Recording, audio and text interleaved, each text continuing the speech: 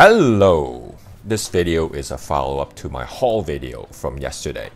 During my hunt, I was very lucky and came across Sergeant Kreel and the special edition George Lucas in Stormtrooper disguise.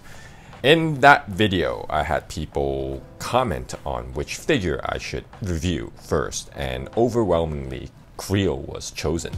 So, special thanks to everyone who had commented, namely Tim Ulevich, I hope I pronounced that correctly. Mitch Allen, Softy Trees, Shakes the Clone, The Thrip, and RR138. RR1138. Thank you guys. So, on with the review. I am going to do a double review that includes the George Lucas Stormtrooper. The Georgie Stormy is interesting not because of the Lucas gimmick, for me, this figure presents an opportunity to expand on my Stormtrooper army because, in theory, it should be identical to the regular 2020 Stormtrooper mold. Currently, it is getting harder to come by a regular Stormtrooper figure, so this Lucas Stormtrooper is very welcome. Also, I can put it side by side with the Sergeant Kreel to identify any new parts that was employed for that figure. So on with the packaging. For George, this is interesting how they went with the Stormtrooper image for the card back.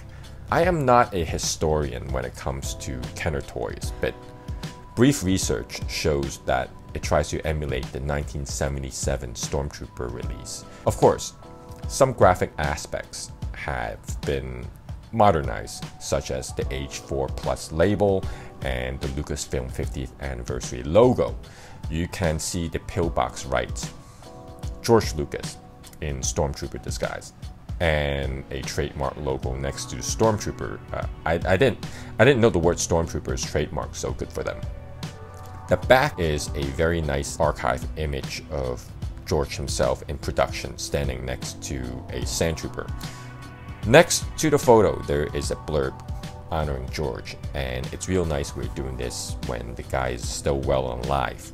As for this is the packaging. It's absolutely gorgeous. This is actually the first of the comic book series figure I picked up, so I am seeing this with fresh eyes. I usually throw away my boxes, but I might consider saving this one. By the way, Black Krrsantan was also in the store when I went, but due to the sketchy nature surrounding its design, I did not pick it up. I just don't want to support that. But yeah, for Kreel, every surface is plastered with comic art, and I'm loving it. The blurb is on the inside of the flap right now. What I also found interesting is there are some questions regarding the character's size.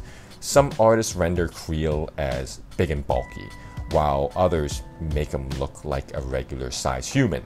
The figure is made to the scale of a regular person, so the package artists diplomatically select images that reflect the size.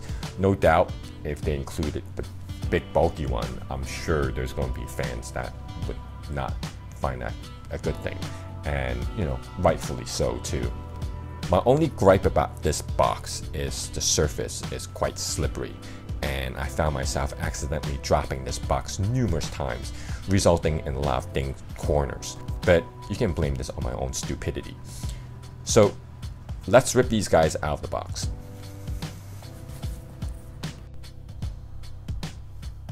Okay, so first I'm gonna have to verify whether George Lucas Stormtrooper is in fact identical to the regular Stormy. I'm gonna have a little fun with you guys, so here goes.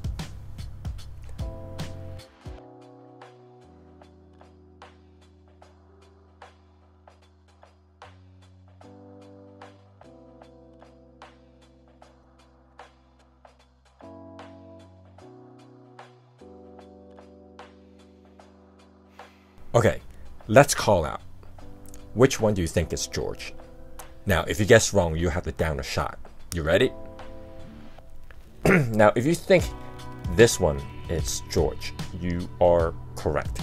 So this could actually make for a pretty fun drinking game, as you could imagine. But really, the verdict is out.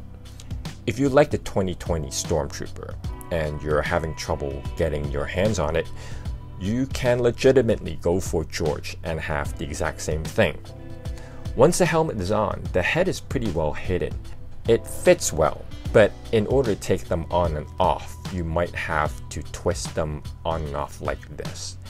It's a bit of a pain, but doable. But if you're getting this figure to add on to your Stormtrooper corps, there are some minor differences you need to be aware of. First, the blaster is painted in a gunmetal silver, whereas the original Stormtrooper is a plain black plastic. Second, because the regular Stormtrooper comes with a bald Temuera Morrison head sculpt, while George has hair, when the helmet is on George, it will sit higher. So if you're obsessed about uniformity, you will have to chop down George's hair so it will fit the same height. Obviously, do that only if you're not intending on removing the helmet. One thing about this figure, or at least mine particularly, is the torso armor tends to ride up and down. If this bothers you, I suggest gluing it down carefully. As for the likeness, well, you could tell it's George because of the white hair and beard, but it's more like a caricature of George rather than the exact replica of George himself. I think it's because George has been around for a long time and you really don't know which era George Lucas you're getting. Plus, Lucas has a bit of a double chin and it will be difficult to do that while trying to allow the helmets to fit over its head. So it's fine, it, the likeness is there. I can see why Hasbro opted to release George in a Stormtrooper disguise instead of a full-on George in civilian clothing. At least here you have a troop builder that can result in multiple sales. So Hasbro has made some pretty baffling business decisions, but this one's actually quite clever. Alright, so Kreel. Sergeant Kreel is based off of a comic book arc that um, well, you know what? Actually, I, I, don't know. I never read the comics. But hey, it makes for a nice figure. Many people were surprised it came with many new parts because historically, novelty figures such as these are notorious for their reuse and repaints. Let's start with taking a tally of the new parts. Looking at this figure, one major part is the upper torso armor which appears smooth without the pectoral renditions of the original Stormtrooper design. It also has a jet slash rocket integrated onto the back. The pauldron is a reuse, which is a shame because in the comics it's not really a pauldron, but more like an extra shoulder armor. The mid-torso is a reuse, just painted black down the front center. On the arms and legs, you have these add-ons that fit over the original body. So for those of you who thought this is a new arm and leg armor, no, um, they're just add-ons. But it's okay. It, it does its job. Only minus here is that they tend to slip around too much, so I might glue them down later. As for the hip, I thought they'd employ the same tactics as the arms and legs with just tacked on pieces. But no, it's actually a new mold. You notice in the back there are some different pouches along the belt, while the original mold has to be modified to receive these new strapped and um, well, well actually, you know what? What do you know? There's actually a holster here for the blaster rifle. It fits the rifle really well and snug. And of course, we have a green lightsaber for Kreel. I am not a lightsaber expert, so I don't know whose lightsaber it is a reuse of, but frankly, I don't really care. For articulation, Kreel and George are both based on the 2020 Stormtroopers, so I won't dedicate too much time to it. For the new collectors watching this video, all I have to say is this mold is famous for very good articulation, so you could achieve poses like this. Overall, I think Kreel is a nice figure and it will be a nice addition to your Trooper collection with enough variety for it to stand out. It is a shame though that Hasbro didn't go for the larger interpretation, but this gives me an opportunity to consider doing a custom using Wrecker as a base. You can see with a Stormtrooper helmet, you can achieve a similar proportion to the larger Kreel.